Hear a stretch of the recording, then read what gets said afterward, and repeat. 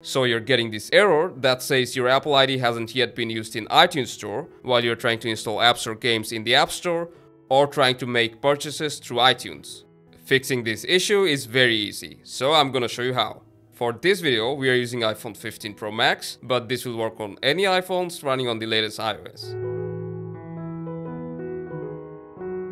Fixing this is very easy. You just need to tap on review instead of cancelling the pop-up. So we will tap on review and it will take us to the terms and conditions page. You need to accept it and tap next. If you don't want to add any cards or PayPal, leave it to none and then fill out your billing address. After filling out your billing address, press next and your Apple ID creation will be completed. So we'll click on continue now try downloading the app again and you should have no issues installing apps or games or purchasing TV shows or movies through iTunes or App Store. Hope you found this helpful, make sure to stay tuned for daily uploads and I'll see you soon.